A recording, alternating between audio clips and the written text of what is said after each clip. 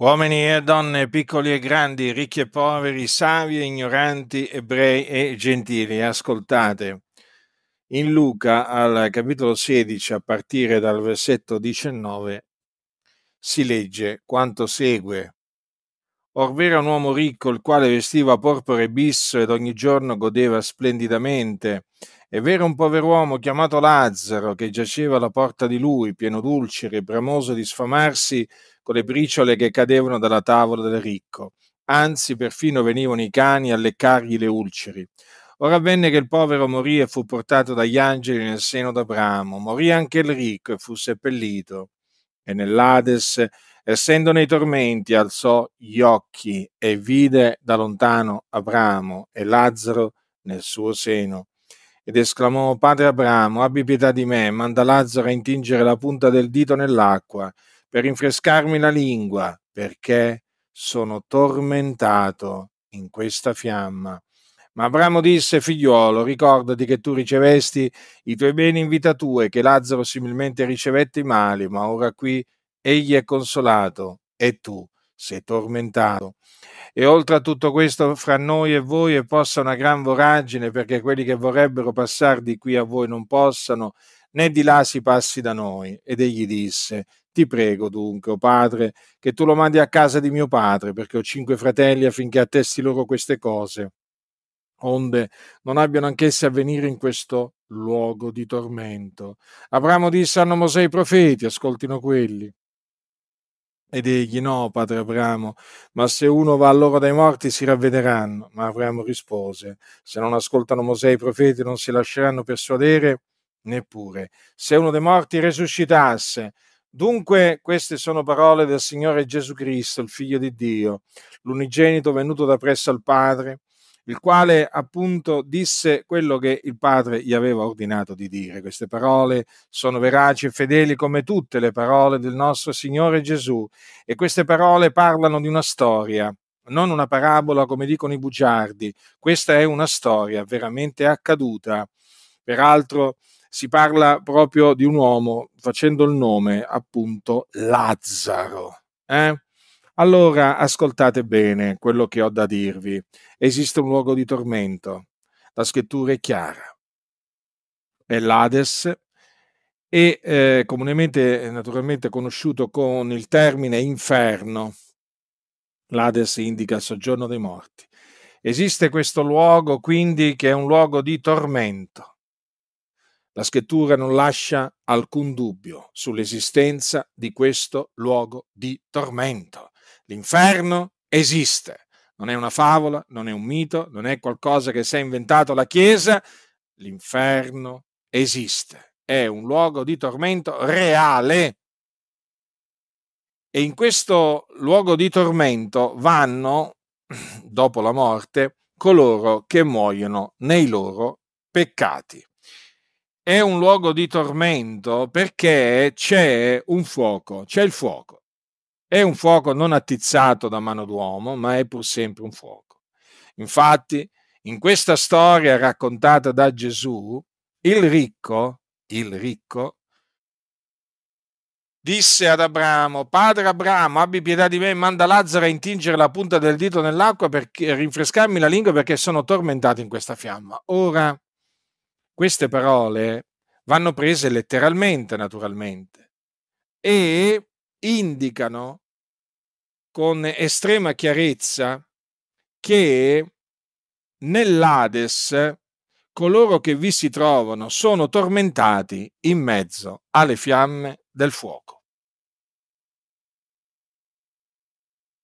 E dunque voi dovete sapere che questo luogo di tormento è il luogo dove vi state dirigendo, senza saperlo naturalmente, perché voi camminate nelle tenebre, siete senza Cristo, senza Dio nel mondo, però dovete sapere, eh, ve lo, e ve lo dico io, in base a quello che dice la Sacra Scrittura, che voi vi state dirigendo ad ampie falcate verso questo luogo.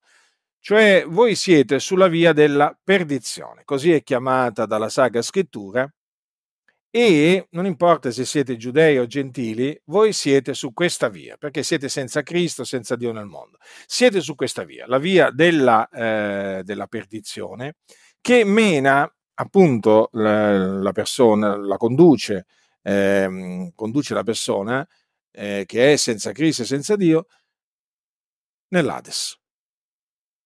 Quindi chi muore nei suoi eh, peccati va nell'Ades.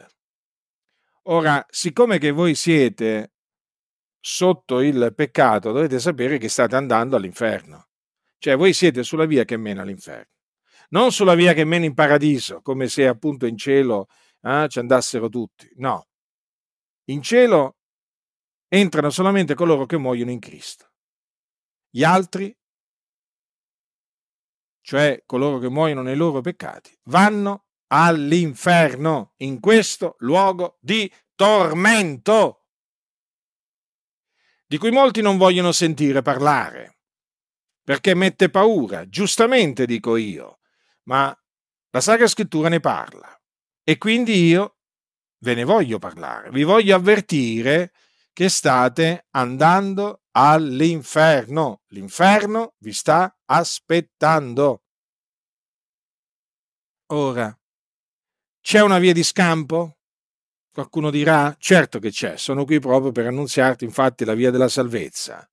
Sono qui proprio per dirti quello che devi fare per scampare le fiamme dell'inferno una volta che muori. Cosa devi fare? Ti devi ravvedere. Cioè devi cambiare mente, abbandonare i tuoi pensieri iniqui e vani. Devi cambiare modo di pensare, abbandonando quindi i pensieri malvagi, che ti rendono peraltro nemico di Dio, sappilo. E oltre a ravvederti devi credere nell'Evangelo, cioè nella buona novella che Gesù di Nazareth è il Cristo che è morto per i nostri peccati, secondo le scritture, che fu seppellito, che risuscitò dai morti il terzo giorno, secondo le scritture, e che apparve ai testimoni che erano stati innanzi scelti da Dio. Questo è l'Evangelo, la buona novella nel quale, credendo, l'uomo viene salvato dai suoi peccati, ottiene la remissione dei suoi peccati, ottiene la giustificazione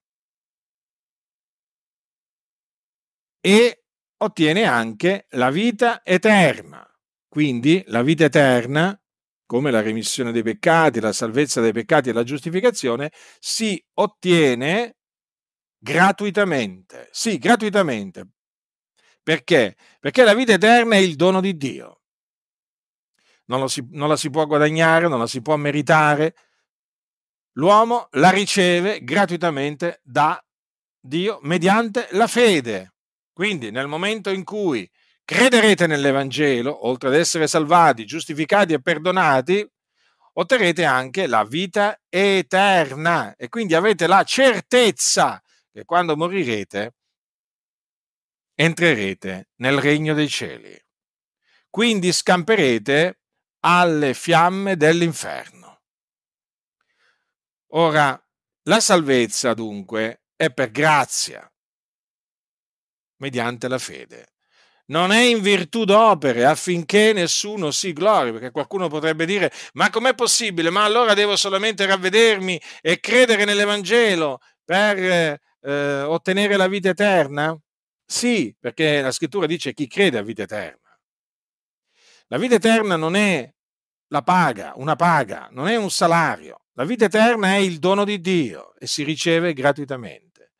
Quindi quello che ti dico a te, peccatore, è questo, ravvediti e credi nell'Evangelo, per ottenere appunto gratuitamente da Dio la vita eterna e scampare così a questa orribile fine a cui tu stai andando incontro senza saperlo. Non ti illudere. Il purgatorio, a te che sei cattolico romano, non ti illudere, il, pe- il purgatorio non esiste. Ti è stato insegnato che esiste nell'aldilà questo luogo di purificazione eh, dove tu eh, andrai una volta morto e da dove uscirai, eh, non si sa dopo quanto tempo, ma comunque da dove uscirai, ti dicono loro, eh, i bugiardi, quelli che appunto dicono queste menzogne, da dove uscirai dopo che sono state recitate tante messe a tuo favore ascoltami, ti hanno ingannato, il purgatorio non esiste, esiste il paradiso dove entrano mm, quando muoiono i, i santi dell'Altissimo, cioè i credenti, coloro che muoiono in Cristo, e poi esiste l'inferno o l'Ades, dove appunto vanno, quando muoiono, coloro che muoiono nei loro peccati. Il purgatorio, ascoltatemi cattolici romani, non esiste, è un grande inganno satanico. Vi hanno ingannato. Al purgatorio, peraltro, sono collegate false dottrine come la confessione al prete, le indulgenze e, ehm, e così via.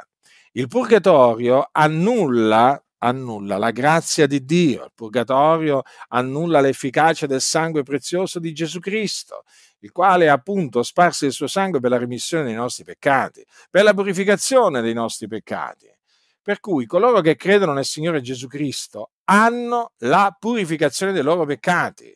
Sì, sulla terra ce l'hanno in Cristo Gesù per il sangue prezioso di Gesù e quindi non hanno bisogno, una volta morti, di andare in un luogo eh, di tormento, peraltro, a purificarsi di residui di colpe che hanno nella maniera più assoluta.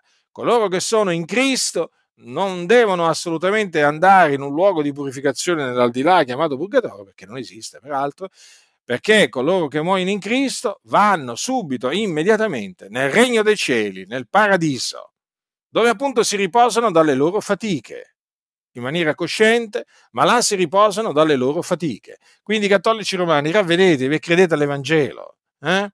perché così scamperete, avendo ottenuto la remissione dei vostri peccati, scamperete all'inferno dove siete diretti. Ma qualcuno dirà, ma noi siamo cristiani. No, voi non siete cristiani, voi siete mariani. Voi siete degli idolatri e gli idolatri sono sulla via della perdizione. Gli idolatri non erediteranno il regno di Dio. Sappiatelo questo. Cosa vi è stato detto? Che c'è un posto per voi in cielo? Vi hanno ingannato anche su questo.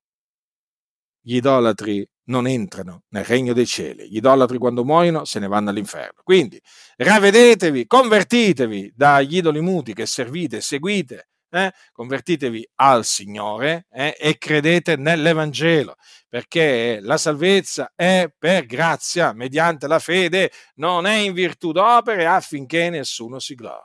Ravvedetevi dunque e credete nel Signore Gesù Cristo, affinché veramente il Signore abbia misericordia di voi e vi strappi dal fiamme del fuoco dove voi siete diretti. Non vi illudete. Se rifiuterete di ravvedervi e di credere nell'Evangelo, ci andrete all'inferno. Eh? Ci andrete. È come se ci andrete. E quando vi troverete all'inferno, voi penserete a questa mia predicazione, voi che l'avete ascoltata e che l'avete rigettata. Ci penserete e direte: Ma come ho fatto a rigettare quella predicazione? Sarà troppo tardi. Vi ritroverete là appunto dove da molti secoli c'è l'anima di quel ricco che disse sono tormentato in questa fiamma e là appunto sarete anche voi tormentati nel fuoco. Quindi, lo ripeto, ravvedetevi e credete nell'Evangelo della grazia di Dio, che ha orecchi da udire.